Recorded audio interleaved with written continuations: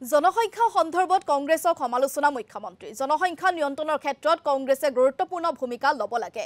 ৰাহুল গান্ধীক জনসংখ্যা নিয়ন্ত্ৰণৰ ব্ৰেণ্ড এম্বেচাডৰ কৰিব লাগে। মুছলমানে তেওঁৰ কথা ফটাফট শুনিব। জনসংখ্যা নিয়ন্ত্ৰণৰ ব্ৰেণ্ড এম্বেচাডৰ হ'বলৈ বিয়া নাপাতিলেও হ'ব। ব্ৰেণ্ড এম্বেচাডৰ হ'বলৈ হ'লে দহটা সন্তান জন্ম নিদিলেও হ'ব। মই স্বাস্থ্যমন্ত্ৰী হৈ থাকোঁতে বন্ধ্যাকৰণৰ কাম কৰিছিলোঁ। বৰ্তমান সেই কাম একেবাৰে নোহোৱা হ'ল। চৰাইদেউ মৈদাম চৰাইদেউ জিলাতেই ৰখাৰ কথা আছিল। ইয়াক ইয়াক লৈ কৰা প্ৰতিবাদৰ বাবে বিষয়টো পিছ পৰি থাকিল। বন্ধ ধৰ্ণা আদিয়ে উন্নয়নৰ কাম লেহেমীয়া কৰে বুলি মন্তব্য মুখ্যমন্ত্ৰীৰ জনসংখ্যা কমোৱাৰ আটাইতকৈ গুৰু দায়িত্ব কংগ্ৰেছৰ ওপৰত কাৰণ কংগ্ৰেছৰ কথা তেওঁলোকে শুনে।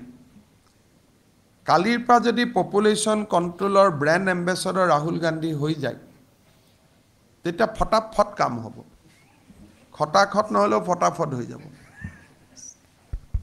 কিয় তেওঁৰ কথা শুনে? মোৰ কথাটো নুশুনে নহয় মোকতো এনিমি বুলি ভাবে না।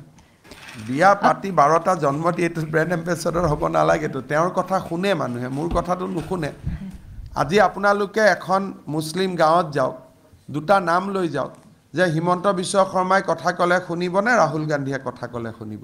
সকলোৱে ক'ব ৰাহুল গান্ধীয়ে ক'লে শুনিম বুলি। দুখন কাগজ লৈ যাওক যে ৰাহুল গান্ধীয়ে ক'লে শুনিবনে মোদীয়ে ক'লে শুনিব। তেওঁলোকে ক'ব ৰাহুল গান্ধীয়ে ক'লে শুনিম। গতিকে জনসংখ্যা নিয়ন্ত্ৰণত আটাইতকৈ যদি ডাঙৰ ভূমিকা কোনোবাই পালন কৰিব পাৰে ৰাহুল গান্ধীয়ে পাৰে।